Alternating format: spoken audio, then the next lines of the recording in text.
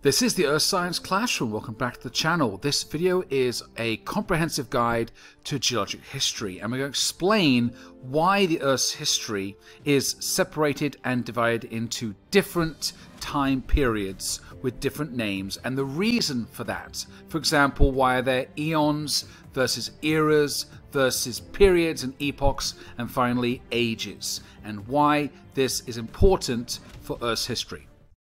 This is the Earth Science Classroom.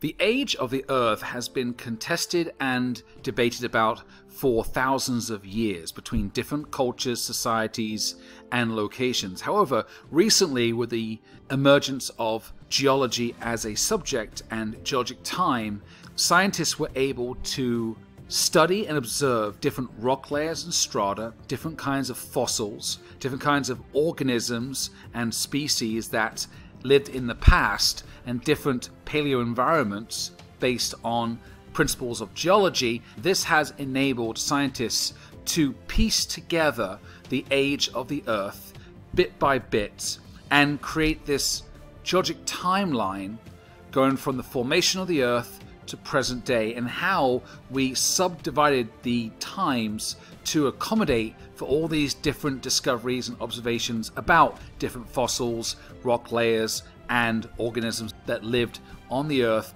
The best place to start for any timeline is the beginnings. So in this case, we're looking at the Earth's formation around 4.56 billion years ago, and we're looking at a very large chunk of geologic history, which is called Precambrian time, which basically means that it's a time before there was multicellular life on the planet. So there was single celled life, and this large extent of time equates to about 88% of all Earth's history, around 4 billion years. And this is broken into three main subdivisions or eons the Hadean, Archean, and the Proterozoic. Now, Proterozoic means, if you see a word that says zoic, that's Latin for animals or life, and proteo means ancient or before, anything that happened prior. So, ancient life. Now, this is where we started to find, or first find, fossilized remains in rock strata of animals. So we start to think about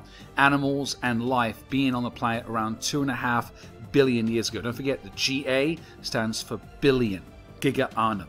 And the Archean and the Hadean, which is basically how the Earth, Earth formed with the oceans, the atmosphere, the moon, and tides, and we started to form the first continents, and that was all prior to the first life being present.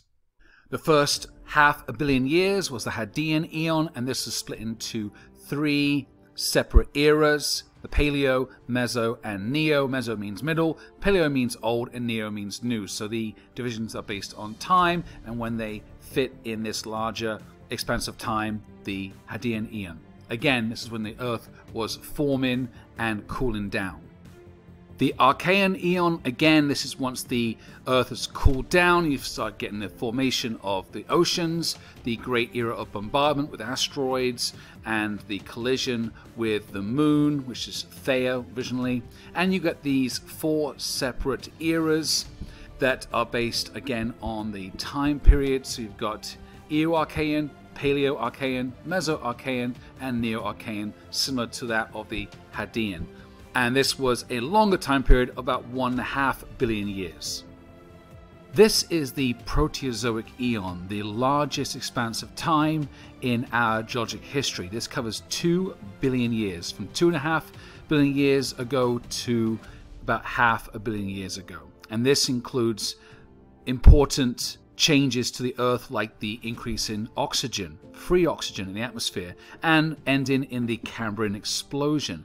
This eon is very important because it is the first time where scientists started to find fossilized remains of animals, ancient animals, in the rock layers. So this is broken into three separate eras the Paleo Proterozoic era, the Meso Proterozoic era, the Neo Proterozoic era, and these again are divided into further smaller subdivisions of what's called periods. So the Paleoproterozoic has four periods, the Meso has three, and the Neo also has three. And they signify changes in the rocks or the different kinds of fossils that were found, or change in world planet events like the Cryogenian, which was when you had the whole Earth as a snowball, a very large extent of ice age or ice accumulation across the whole planet. Even parts of the equator were close to being frozen. Now we come to our next and our last eon, or large expanse of time, which is the Phanerozoic. Now, Phanero is Latin for visible, it's very obvious. So, the life that we see in this part of geologic history is now abundant, is now easily seen, easily visible within many different structures and rocks and fossils, basically in more abundance. And this is half a billion years. It starts really at the Cambrian explosion, which really was the time when you had a vast increase in multicellular life and different species and different phylum and kingdoms and all different animal species and flora and fauna started to explode onto the scene on Earth because the prior Precambrian had set the scene and kind of laid the foundation for this explosion to happen where life could exist and develop and increase in numbers as we see today. So this large expanse, this eon, is split into three distinct eras. The Paleozoic, which paleo means old, old life era, Mesozoic, middle life era, Cenozoic era, which is what we're in right now, and then we have more classifications and more subdivisions based on the more life and more events. And it's easier to study rocks that are more recent because there's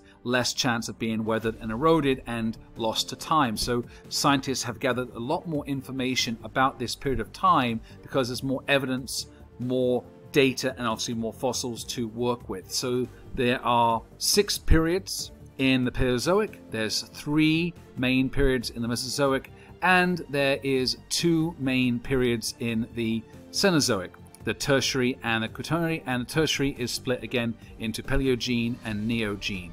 Then we have some epochs, which is again a smaller amount of time divided into each period. So we're going from Eon, which is the largest, to Era, the second largest, and then more divisions, into periods, and now into epochs so into a smaller division of time. So, for example, the Cambrian period, which is in the Paleozoic era, has four epochs. Like the Triassic in the Mesozoic era has three epochs. So we can get more and more detailed as we look into each part of geologic history. This is the Paleozoic era in more detail, so covering about 250 million years from the Cambrian explosion to the end of the Paleozoic, you're looking at the periods Cambrian, Ordovician, Silurian, Devonian, Carboniferous, which is split into two, Mississippian and Pennsylvanian, which is also in, just in America, and Permian. Then we have different epochs for each of the periods, and these epochs are then divided into further small divisions, which are called ages. So there's a lot more different ages based on the amount of info and fossils we can see from each of the periods during this era.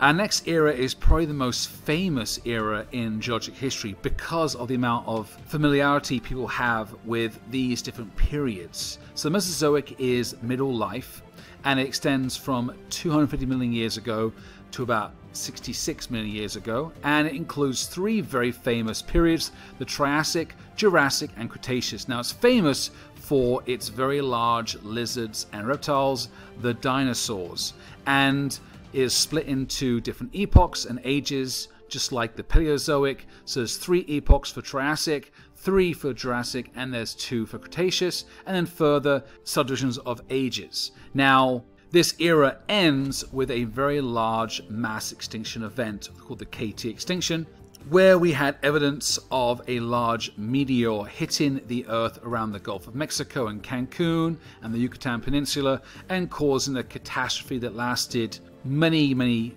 decades, even up to millennia, thousands of years. That caused the extinction of the majority of life on land. However, some, if not a lot, of the species in the oceans did survive.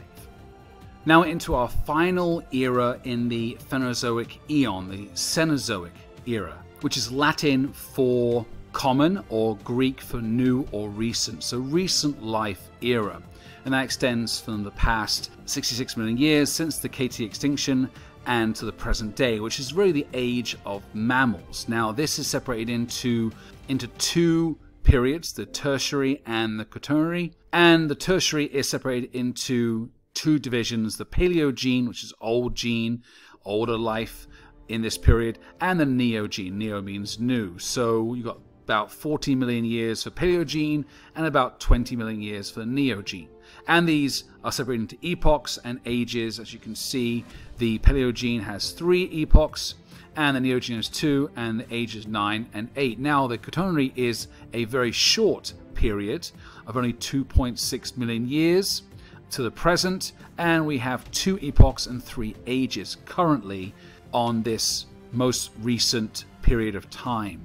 Our last period of time to look at for this geologic history video is the most recent, going from 2.58 million years to present day, which is the Quaternary period. Now, this is split into two epochs, the Pleistocene and the Holocene. Holocene is the last 12,000 years, and this is referring to the age of Homo sapiens, us humans, and also divided into two ages for the Pleistocene, and currently no ages for the Holocene, but you can argue that the Anthropocene could be an age within the Holocene based on the effect of humans on the planet for, from recent years.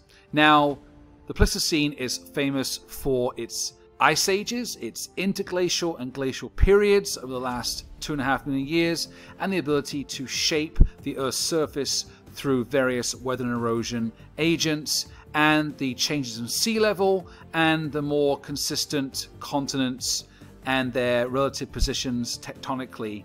So we started off with a very large Precambrian time period covering 4 billion years, and now up to the last 12,000, which is the Holocene, which is dominated by human activity.